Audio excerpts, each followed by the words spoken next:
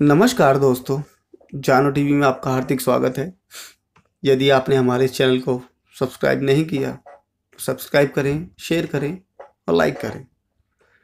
दोस्तों, आज हम बात करेंगे नॉर्मल डिलीवरी की। जी हाँ अगर आप भी चाहते हैं नॉर्मल डिलीवरी तो कुछ ऐसी चीज़ें हैं जिन्हें आपको अपनाना चाहिए। किसी भी महिला के लिए डिलीवरी का समय बहुत मायने रखता है, क्योंकि उसके घर में पल रहे बच्चा इस दुनिया में आने वाला होता है। ऐसे में वो अपने आने वाले बच्चे के लिए तो खुश होती है, लेकिन कहीं ना कहीं जन्म लेने वाले बच्चों के लिए वो डरी होती है। जी हाँ क्योंकि वो चाहती है कि उसका बच्चा नॉर्मल हो, वो भी बिना किसी परेशानी की इस दुनिया में आए, लेकिन कई बार नॉर्मल डिलीवरी नहीं हो पाती और ऐसे में डॉक्टर को सिजेरियन विधि से बच्चे का जन्म कराना पड़ता है।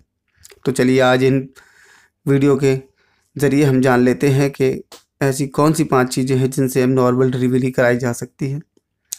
और जिसका सेवन हमें फ़ायदेमंद साबित हो सकता है तो सबसे पहले है अनानास।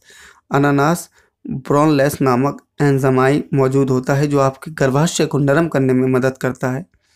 ऐसे में यदि आपके नौ महीने पूरे होने वाले हैं और आपकी डिलीवरी का समय नज़दीक आ रहा है तो आप अनानास या उसके जूस का सेवन करना शुरू कर दें। यह प्रसव पीड़ा उत्पन्न करने में सहायक करती है, लेकिन अनानास का सेवन सीमित मात्रा में ही करें।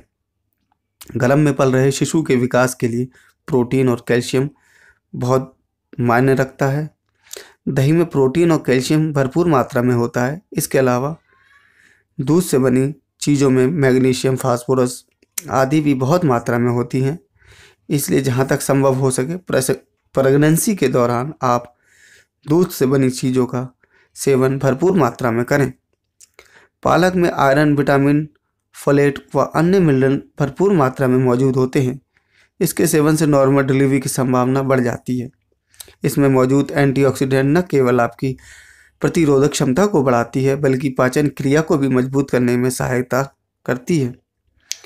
डिलीवरी होने के कुछ दिन पहले से ही आप दालों और फलियों का सेवन भरपूर मात्रा में करें। इसका सेवन से शिशु को होने वाले कई तरह के संक्रमण से बचाव हो जाता है।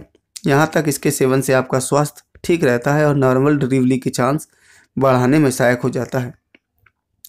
प्रेगनेंसी में पानी का भरपूर सेवन करना चाहिए ताकि गर्भ में पल रहे बच्चे को पानी की कमी ना हो और पानी के सेवन से आपकी बॉडी हाइड्रेट नहीं हो। इसके अलावा आपके गर्भाशय को मदद भी मिलती है पानी को पीने से। इसलिए आप दिन में कम से कम आठ से दस गिलास पानी का सेवन ज़रूर करें और अपनी डिलीवरी को नॉर्मल कराएँ। तो दोस्तों, ये पाँच ऐसे उपाय हैं जिन्हें आप अपनी डिलीवरी को नॉर्मल करा सकते हैं और ये सहायक भी है। तो दोस्तों, इन्हें अपनाएँ और आने वाले बच्चे की खुशी मनाएँ।